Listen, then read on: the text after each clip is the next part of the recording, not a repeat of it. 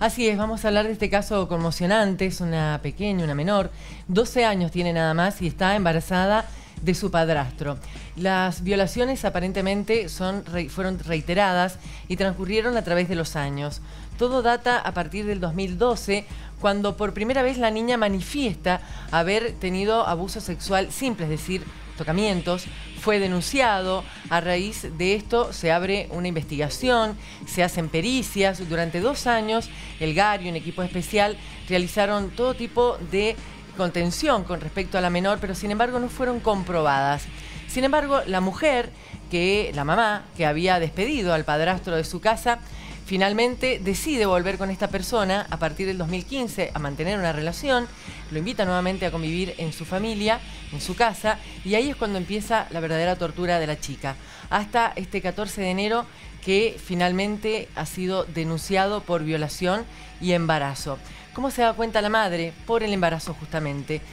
Eh, las tías habían advertido una pequeña pancita en la chiquita. Las tías paternas. Las tías paternas habían advertido una pequeña pancita en la menor y la llevaron a un control ginecológico. A partir de eso se desnuda todo este, toda esta trama que llevaba años, años y que no se había podido detectar con anterioridad.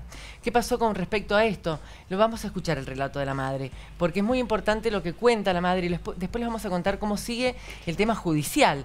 ¿Qué pasó con este hombre? ¿Qué pasó con el padrastro? ¿Y qué pasa con la madre? ¿Y dónde está la chiquita, Silvia? ¿Dónde está la nena de 12 años? La chiquita fue eh, retirada del, entorno familiar maternal y paternal, porque su padre biológico, si bien no tiene contacto con ella, tampoco puede tener la tenencia de la menor al ser una familia ausente, por lo tanto ha sido entregada en forma de guarda a una tía sentimental, es decir, una tía que mantiene lazos sentimentales con la familia, no una tía natural, eh, miembro de la comunidad donde ella vive, es del barrio Ligüe, del departamento de Guaymallén, y es ella quien tiene la guarda de la menor en estos momentos. Hay tres hermanitas, una de 11, una de 7 y una de 2 años, que están bajo el cuidado de la madre y una tía, y a partir de hoy el, la OAL, la DINAF, va a tomar también cartas en el asunto y se va a hacer cargo también de estas chiquitas para ver, por supuesto, el entorno en el que viven, si hay posibilidades o no de que la nena de 11 años o la de 7 hayan también sufrido algún tipo de abuso. Bueno, todo eso está en etapa, en plena etapa de investigación.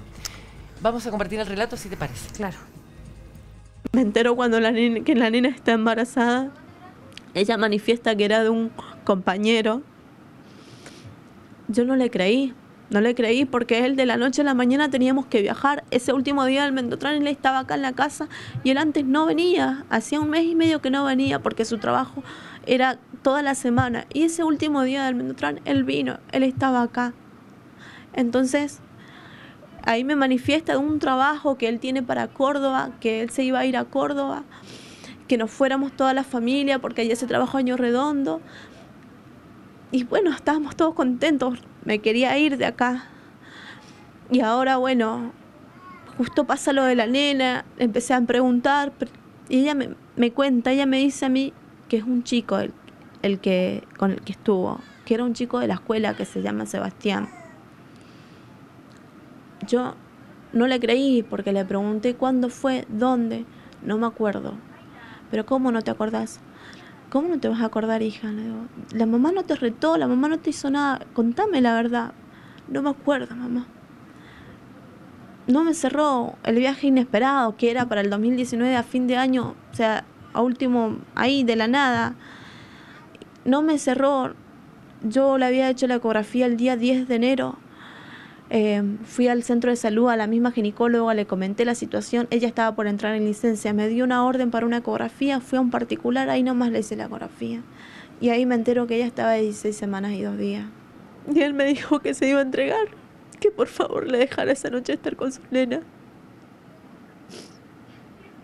Estúpida le creí. Le creí. Inconscientemente le di esa oportunidad para que se fuera, porque es lo que hizo. Porque ellos decían que, yo tenía que hacer un duelo, que yo tenía que transitar esto. Eh, yo les dije, o sea, yo, yo lo transité el tiempo, ese 15 días que estuve en el hospital. Esos 15 días que estuve en el hospital, miraba a mi hija y me culpaba por haber metido ese hombre en mi vida. Pero ahora sin ellas yo no soy nada, sin ellas como que no tengo la fuerza de pelearla. Ahora yo estando con mi hija la peleo, ellos saben, todo turno que me han pedido, lo he cumplido. Todo lo que ellos me han pedido, lo he cumplido. Y ellos, ¿cuándo cumplen conmigo? ¿Cuándo cumplen? Cuando hacen un acompañamiento. El acompañamiento no lo tengo. En un momento se iba a hacer un acompañamiento, en aquel entonces no se hizo, no vino nadie. Yo se lo dije cuando pasó esto ahora a la chica que lleva el caso. ¿Usted conoce mi casa? Ellos lo de Loal me la querían sacar a mi nena a las 4. En un momento en el hospital me dijeron, es una medida de protección por 90 días. Cuando salí del hospital, me toca ir a Loal, ellos me dicen que me quieren sacar a las cuatro nenas para que las cuatro niñas se vayan con esta amiga mía. Y yo le dije, no, no. Yo hablando con uno de mis tíos, comentándole todo desde, desde, desde cero, me dijo que no, que podía hacer una denuncia a Loal por mal accionar.